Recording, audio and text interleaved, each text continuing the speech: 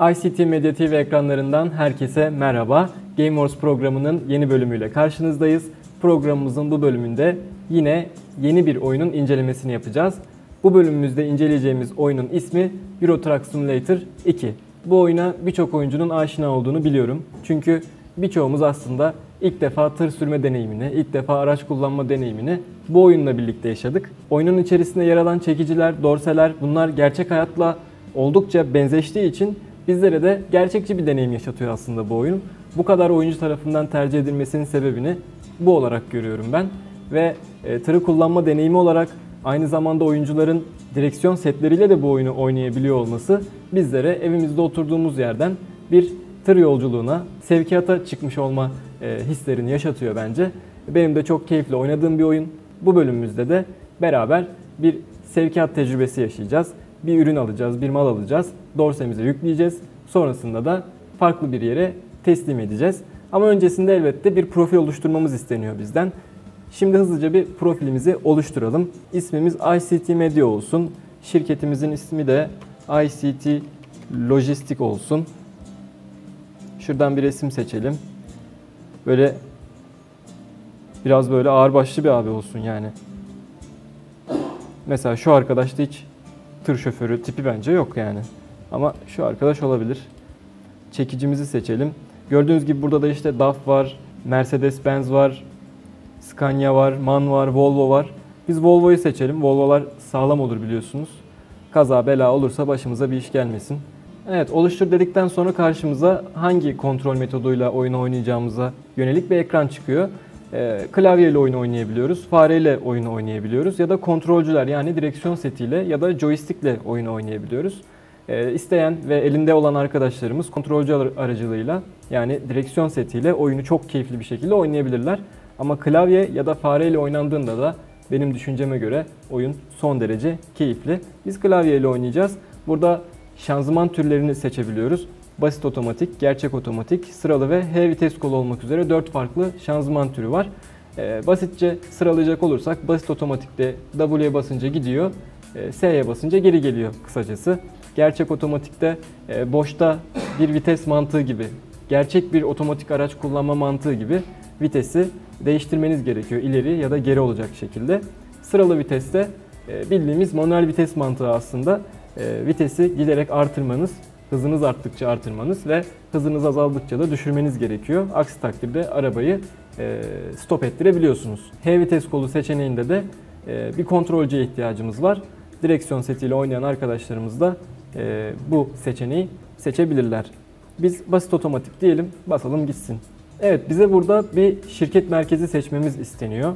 Ee, düşünceme göre bu şirket merkezi şu anda Avrupa haritasını görüyoruz karşımızda.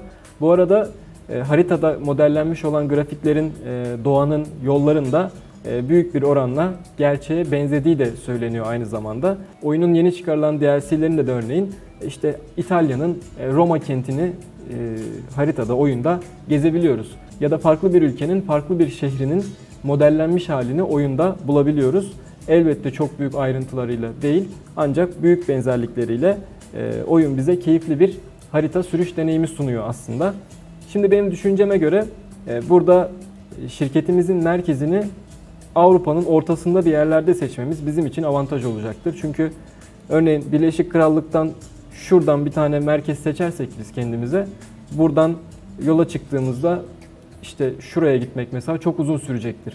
Ama Avrupa'nın ortasında bir yerden bir iş merkezi seçersek eğer kendimize e, sağa sola gitmek daha kolay olacaktır. Daha merkezi, daha böyle e, hızlı bir şekilde git gel yapabiliriz diye düşünüyorum. Onun için mesela şuradan e, Frankfurt'u seçebiliriz bence. Hoş bulduk. Sonunda hayallerinizdeki mesleğe kavuştunuz. Artık tır şoförüsünüz diyor. Evet. Hayırlı olsun kendi nakliye şirketinizi kurdunuz ancak henüz yeni bir çekici alacak paranız yok. Bir süreliğine başka firmalara şoför olarak çalışmanız gerekecek demiş. Tamam olur. Şu anda bizim önümüzde Volvo bir araç var. Volvo seçmiştik hatırlıyorsanız aracımızı. Hatta modeli de FH16 diye bir model. Aynı aktif bir şekilde çalışıyor bu arada arkadaşlar. Gittikçe arkamızda geçtiğimiz yerleri görebileceğiz. Sağ tarafta görmüş olduğunuz ikinci sağ aynamız ancak böyle kafayı çevirerek de buraya bakabiliyoruz. Ee, işte burada hız sabitleyici tuşu var, işte ESP tuşları var, şerit takip asistanı falan. E, Aracı, araçtaki bütün teknolojiler var yani burada. İşte teybimiz, oturma yerleri, arkada yatağımız var gördüğünüz gibi.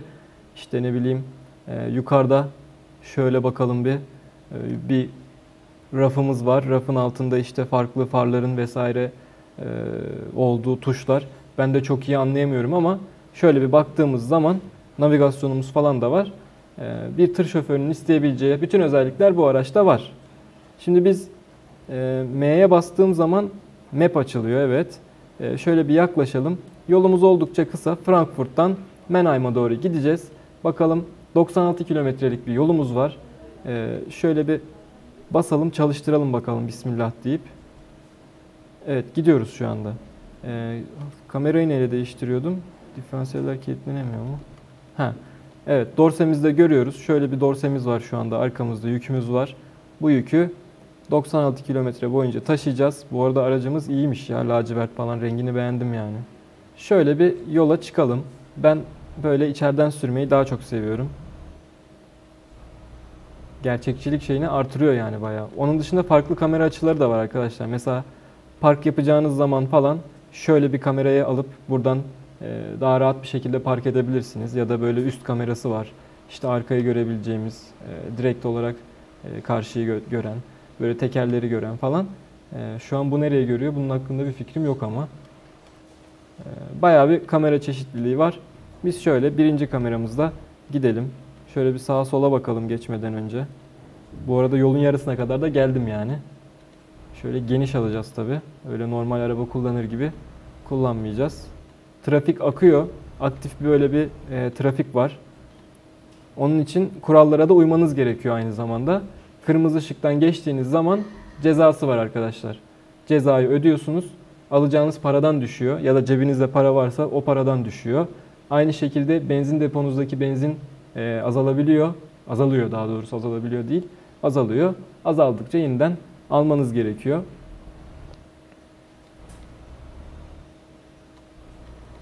Zaten birazdan birazcık daha uzun e, soluklu bir iş alacağız.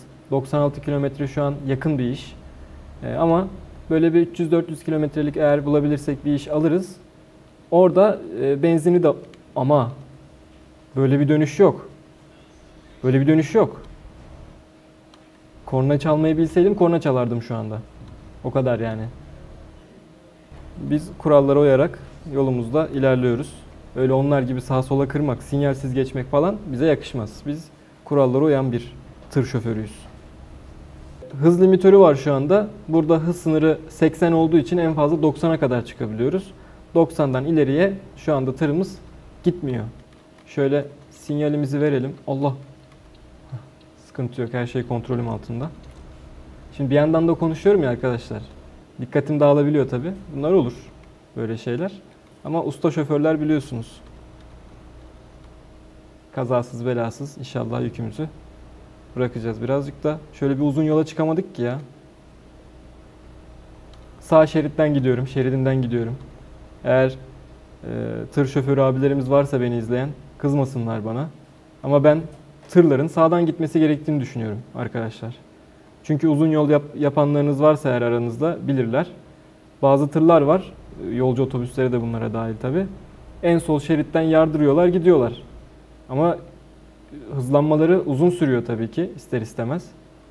Ee, hemen hızlanamıyorlar. Tonajdan dolayı yani çok yüklüler çünkü. Ağır yükleri var. Ama diğer otomobiller çabuk hızlanabilen küçük otomobiller e, daha hızlı bir şekilde e, yüksek hızlara ulaşabiliyorlar. Ve e, onları beklememiz gerekiyor bizim yani. Ama böyle tırcı abilerimiz ya da işte otobüs şoförü abilerimiz en sol şeridi bu şekilde kapatınca yavaş yavaş geçeceğim diye diğerini sollayacağım diye kapatınca e, biz küçük otomobiller olarak sıkıntı yaşıyoruz. Buradan da e, kendilerine güzel böyle bir mesaj göndermiş olayım. Şimdi gördüğünüz gibi küçük haritada sağda e, bir benzinlik var. Hatta gireyim benzinliği de görmüş olalım. Birazcık durmuyor da. Şimdi burada çarpmamamız lazım. Şöyle bir şey yapsak. Şöyle geniş alayım. Tamam. benzin deposuna geldik gördüğünüz gibi. Burada motoru durdurmak için E'ye basıyorum. Yakıt tankını doldurmak için de Enter'a basıyorum. İşte tutar artıyor, aldığımız litre falan. 31 litre şu anda benzin aldık ve bunun karşılığında da 39 euro verdik. Ee, tekrar gaz verme tuşuna basıyorum ve aracı çalıştırıyorum, devam ediyorum. Yakıt masraflarımız işverenimiz tarafından karşılanıyormuş. Onun için rahatlıkla alabiliriz. Burada da arkadaşlar dinlenme yeri var. Burada arabayı durdurup e, uyuyabiliyoruz. Ama şu anda yorgunluk durumumuz iyi olduğu için şu anda gerek yok. Yani böyle durumlar da var. Gerçekçiliği artıran işte e, ögelerden bir tanesi de bu. Şoförsünüz tamam belki bilgisayar başında oynarken yorulmuyorsunuz ama oyunun içindeki karakteriniz belirli bir süre sonra yoruluyor. Uyuması gerekiyor, dinlenmesi gerekiyor. Sizin de uyuyabileceğiniz bir yer bulup aracınızı buraya park edip sonrasında e, dinlenmeniz gerekiyor. Bu da tabii ki zamandan yiyor. Yani 7 saat sonra 8 saat sonra uyanıyorsunuz, kalkıyorsunuz. Kalktığınızda enerjinizi toplamış oluyorsunuz. Ama eğer işi yetiştirmek için belirli bir saat sınırınız varsa ki genellikle aldığımız işlerde böyle oluyor. Şu gün şu saate kadar bu iş e, yetişmeli diyorlar bize. E, dolayısıyla bu uyuma dengesini e, kaç saat uyuyacağınızı vesaire çok iyi ayarlamanız lazım. Eğer iş geç kalırsa alacağınız paradan düşer ve daha az tecrübe puanı kazanırsınız aynı zamanda. Onun için bunların ayarlaması, dengelemesini iyi yapmak lazım. Kurallara uymak lazım. Ben bir kere denemiştim de öyle hatırlıyorum. Ay. Tamam dokunmadık. Dokunmadık. Bak son anda durdum. Şimdi buradan biraz daha böyle şey dönmem lazım. Tamam. Trafiği birazcık alt üst etmiş olabilirim ama şeyiz ya. Alışacağız yani. Sıkıntı yok. Bir kere ha, onu anlatıyordum. Bir kere böyle hiç kurallara uymadan bütün kırmızı ışıklarda falan geçtim. Ee, 100 euro 100 euro mu düşüyor? 250 250 mi düşüyor? Bir şey oluyor. Düşe düşe para kalmadı. İşten aldığım paranın tamamını cezalara ödemiş oldum. Cezalara vermiş oldum. Ve hatta eksiye düştüm yani. Kırmızı ışıkta duralım, duralım. 2 kilometre yolumuz kaldı bu arada. Tabii ki kilometre mantığı gerçek hayatta aynı şekilde işlemiyor. Biraz daha e, hızlı. Ama zaten gerçek hayattaki gibi olsaydı da sıkıcı olurdu diye düşünüyorum. Şimdi 96 kilometrelik bir yolu e, yaklaşık herhalde kaç dakikadır? 10 dakikada falan geldik diye düşünüyorum. 5-10 dakikada falan geldik. Şimdi burada sola döneceğiz. Sola sinyalimizi verdik. Görüyorsunuz sol altta sinyalimiz yanıyor.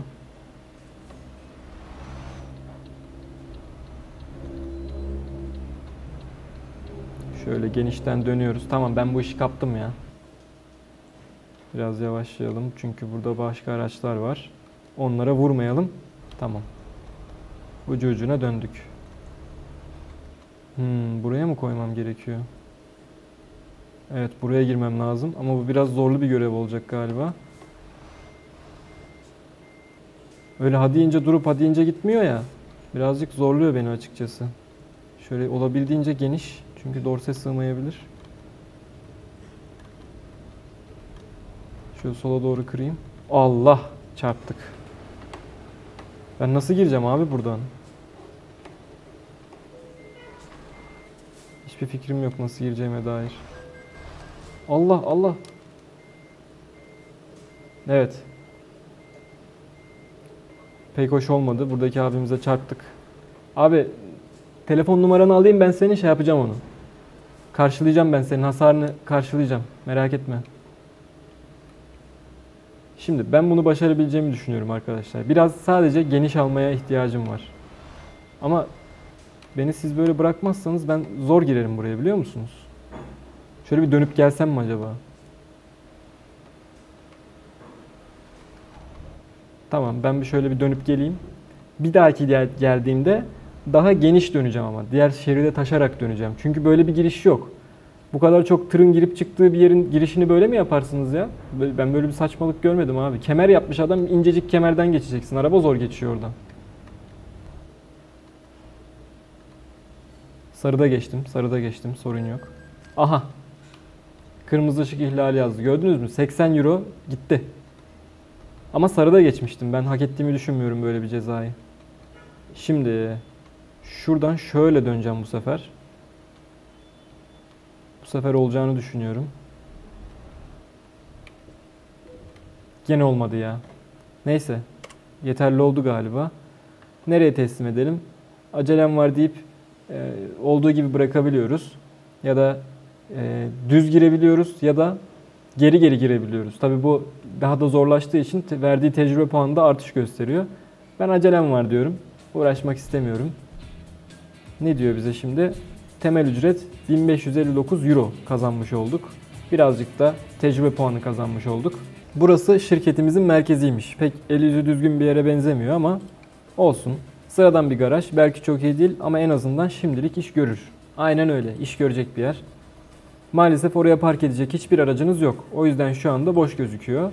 Yeteri kadar pazar pazar kazanıp bir çekici satın aldığınızda para kazanıp büyük ihtimalle oyun dünyasında serbestçe gezebilecek ve kendi şirketinizi buradan çekip çevirebileceksiniz demiş. Tek seferlik iş alacağız. Tek seferlik iş yaparak devam edeceğiz. Mesela şu 5000 euro veriyormuş. Ee, nereden? Buradan çıkacağız. Strasbourg'a gideceğiz. En çok parayı kim veriyor? Bunlar az. Evet en çok parayı veren bu. Tamam bunu yapalım. Şimdi arkadaşlar tek seferlik işimizi aldık. Yeni bir tek seferlik iş aldık. Ee, bu iş yaklaşık 250 kilometrelik gördüğünüz gibi sağ haritada, sağ köşedeki haritada gördüğünüz gibi yaklaşık 250 kilometrelik bir iş. Karşılığında 5000 euro gibi bir para alacağız. Ee, ve bu seferki aracımız Renault. Şöyle içine bakalım isterseniz giderken. Böyle yukarıda çekmeceleri, dolapları falan var. Diğerine göre biraz daha fazla dolap var bunda. Ee, aynaları şu şekilde, direksiyonu falan filan. Arkada da böyle bir oturmalık yer var. Bir de yukarıda da yatak var. Bunun yatma yeri yukarıdaymış. Hoparlörleri falan görüyorsunuz. Aa yukarıda sunroof da var galiba. İşte kadranı falan değişti. Yani bütün araçların modellemesi birbirinden farklı. Dolayısıyla eee, sıkıcı değil yani. Sıkıldığınız zaman araçtan değiştirebiliyorsunuz. Farklı bir araç. Tabii ki hepsinin motor gücü farklı, çekiş gücü farklı, iyi oldukları, kötü oldukları yönleri var. Her aracın karakteristik bir takım özellikleri var. Bu arada yeşili de yaktık. Devam edelim. Aa şurada bir soru işareti var. O soru işaretine gitmek istiyorum. Dönebilirsem. Döndüm. Mesela bakın bir tane galeri keşfettik. Şu anda e, işte Iveco'nun şeyini, galerisini keşfettik. Buradan e, paramız olduğunda gelip tır satın alabileceğiz. Bana bir müsaade edin. Oha ne kadar çok çıkıyormuş bunun sesi. Tamam şöyle döndük. Şimdi buradan sağ yapacağız. Şöyle. Alıştım ya iyice. Sıkıntı yok. Keşke ben gidene kadar yeşil yansa değil mi? Hepimiz aynı şeyi istiyoruz. Güzel oldu. Yeşil yandı. Tamam. Şu an çok mutlu oldum mesela. Böyle küçük şeylerle mutlu olabiliyoruz. Tabelalara falan baksanız arkadaşlar. Gideceğimiz yeri gerçekten gösteriyor bu arada. Ciddi bir tabela sistemi var yani ortada. Lan bu nasıl geliş? Böyle mi çıkılır ya? İki tane geniş aracız biz. Birazcık dikkat. Bir tır daha var burada. Bu tıra da geçerken selam verelim. Kornamızı çaldık. Ama o bize çalmadı galiba. Allah buradan dönecekmişiz. Hemen yavaşlıyoruz, yavaşlıyoruz.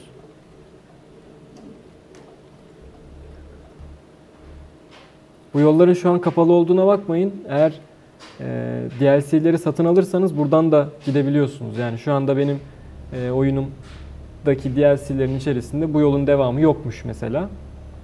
Onun için ben geçemiyorum şu anda buradan ileriye. Şu okların olduğu yerleri söylüyorum.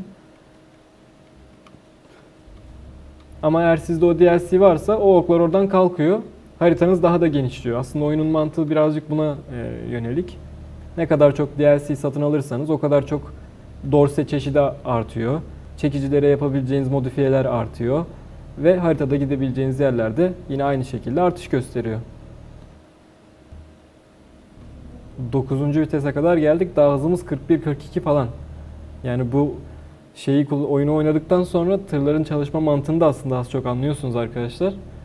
Çok ağır yükler çektikleri için şanzımanlarında da vitesleri de çok fazla. Şu an 11. viteste gidiyorum. Hızım 65 yani düşünün.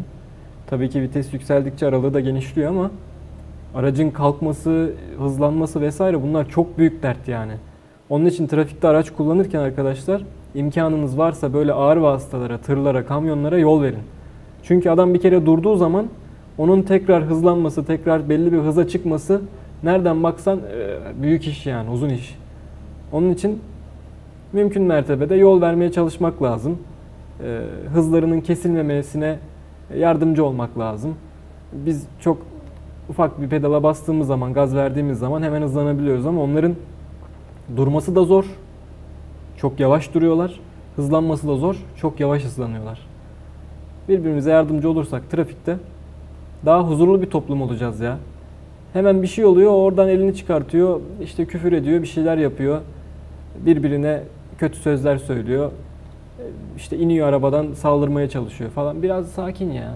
Yani bizim de başımıza geliyor işte sürekli. Olabilir. Hata yapabilir insanlar. Çok e, büyük bir hata olmadığı sürece çok sert tepkiler vermeye gerek yok. Şuradan sağa döneceğiz. Sinyalimizi verelim. Yavaşlayalım. Şöyle geniş alalım.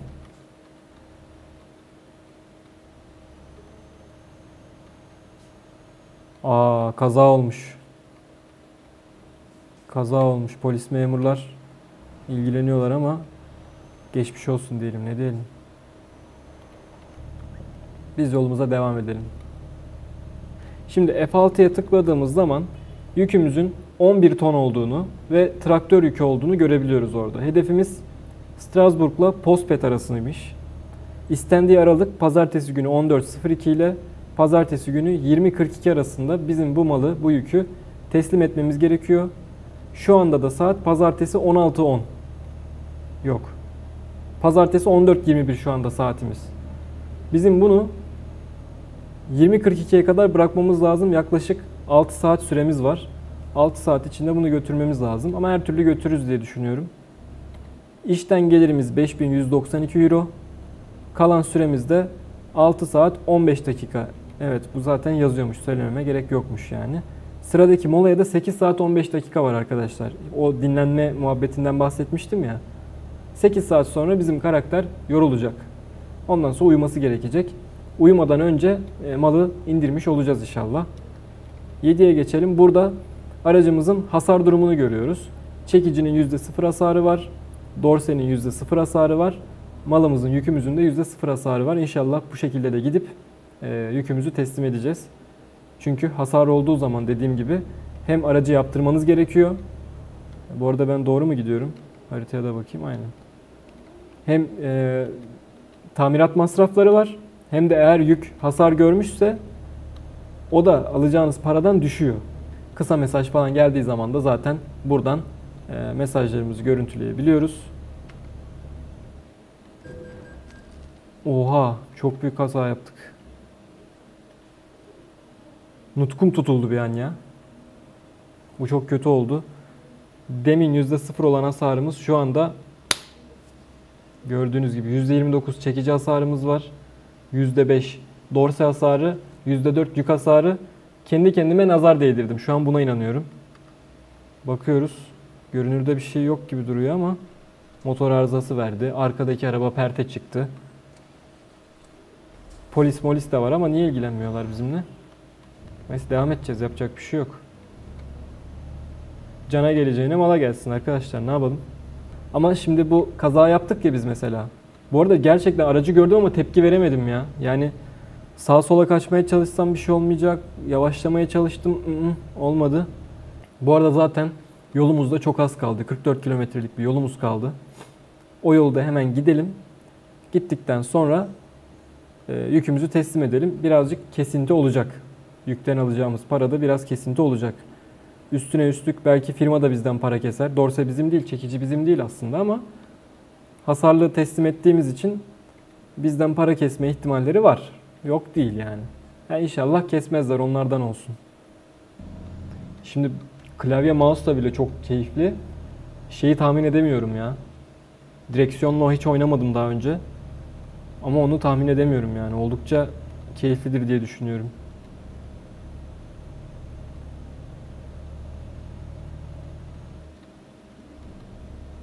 Evet gördük haritada artık teslimatı yapacağımız yeri. Ben ne kadar para kesecekler çok merak ediyorum. Bu arada kırmızı yandı. Şurada da duralım. Dediğim gibi arkadaşlar şeyin e, tırın içini modifiye edebiliyorsunuz. Dışını modifiye edebiliyorsunuz. Rengini işte e, farlarını tutma kapı kollarını vesaire her yeri değiştirebiliyorsunuz. Burada bir teknik servis varsa aslında gerçi benim kendi tırım yok ki şu anda ya. O zaman bunun ikincisini çekelim sonra. Ben birazcık daha oynayayım bunu. Birazcık geliştireyim karakteri. Kendi tırımı alabilecek duruma geldiğim zaman arkadaşlar ikinci videoyu çekelim. İkinci videoda da e, kendi tırımızı modifiye edelim. Hem de bankadan kredi çekme muhabbetlerini falan göstermiş olurum size. E, bankadan kredi çekeriz, tır alırız, çekici alırız, dorse alırız. Ondan sonra onları modifiye ederiz. Öyle bir video yapalım. Çünkü tam gösteremedik yani burada. Yeni profil açtığımız için. Bir dahaki videoda da bu videoda yapamadıklarımızı yaparız. Tamam. Tamam burası daha rahat. Güzel. Ne kadar kesecek acaba ya? Allah durmuyordu. Geri gel. El frenini falan çektim yani dursun diye o derece. Enter. Şu şey Allah. Bak gene dokundurduk ya. Şöyle parkımızı yapalım. Dorseyi gösteriyor gördüğünüz gibi. Tırın ucu da çekici de şöyle. Bence oldukça güzel oldu diye düşünüyorum. Evet yeşil. T'ye basıyoruz yükümüz boşaltılıyor. Tatminkar dedi. Yani ne çok şey iyi ne çok kötü. Ama 5100 almamız gerekirken hasar cezası olarak 966 yakı- yaklaşık 1000 euro para kestiler bizden. 71'de tecrübe puanı kestiler. İyi para kestiler yani. Level'ımızı atladık bu arada. Bir- birinci seviyeye geldik. Burada becerilerimizi geliştirebiliyoruz. İşte mesela şu. e, Dinamit, havai fişek ya da cephane gibi yükleri taşıyabiliyorum buna verdikten sonra. Ya da şuna verirsem eğer yanıcı gazlar, hidrojen, nitrojen vesaire gibi e, gazları taşıma yetkisine sahip oluyorum buna verdiğimde. Yine buna verdiğimde de işte petrol, mazot gibi şeyler. Uzun yola verirsek eğer 350 kilometreye kadar teslimat mesafesi. Şimdi demin 250 kilometreye kadar alabildik ki en fazla. Bunu seçtiğimizde 350'ye kadar çıkıyor. Artırdıkça bunu e, 1500 kilometreye kadar falan gidiyor yani. Ve sonrasında aldığımız ücrette benzer oranda artış gösteriyor. Değerli yük olduğu zaman daha fazla para ve tecrübe kazanıyoruz. Hassas yüklerde yine aynı şekilde daha fazla ücret ve tecrübe puanı. Ama bunlarda mesela bir kaza maza yaptığınız zaman yandınız, patladınız. Tam zamanda teslimat, işte e, vaktinden önce ya da işte e, belirtilen saatler, süreler arasında e, teslimatı yaptığınızda daha çok tecrübe puanı veriyor. Ekonomik sürüşte yakıt tasarrufu sağlıyor arkadaşlar. Sizin önceliklerinize bağlı olarak istediğiniz beceriye verebilirsiniz. Ben bir an önce uzun yola gitmek istediğim için burada uzun yola vereceğim. Uygula diyeceğim. Bu arada şunu da kapatmadan önce videomuzu sonlandırmadan önce şunu da söylemek istiyorum. Ee, şirketimize yeni şoför alabiliyoruz arkadaşlar. Bu şoföre bir çekici atayabiliyoruz. Diyoruz ki sen bu çekiciyle bu dorseyle git şöyle şöyle işler yap deyip onları görevlendirebiliyoruz. Tabii ki maaşlı çalışıyorlar, paralı çalışıyorlar. İşte atıyorum 10 bin euroluk bir iş ise eğer o işten 10 bin euro para kazanıyorsak bunun işte 6 bini 7 bini falan e, masraflara ve çekici şey şoföre gidiyor. Bizim cebimize 2-3 bin euro kalıyor ama hiç yoktan iyidir. Yani sonuç olarak kendiliğinden bir sirkülasyon oluyor orada kendiliğinden bir akış. E, o gidiyor geliyor. Siz de oturduğunuz yerden paranızı kazanıyorsunuz. Böyle böyle şirketinizi büyütebiliyorsunuz. Ne kadar çok çekici alırsanız ne kadar çok dorse alırsanız ve onları kullanacak şoförler alırsanız o kadar çok e, para kazanıyorsunuz o kadar çok büyüyorsunuz Bakarsınız şirketimizi iyice büyütürsek farklı şoförler falan da tutarız. Onlar da bizim aldığımız çekicilerimizi falan kullanırlar. Ama şimdilik bu videomuz için bu kadarlık olsun. İzlediğiniz için teşekkür ederiz. Umarız keyif almışsınızdır. Umarız hoşunuza gitmiştir. İkinci video ile devam edeceğiz. Bir sonraki bölümümüzde yeniden görüşene dek hoşça kalın, sağlıkla kalın.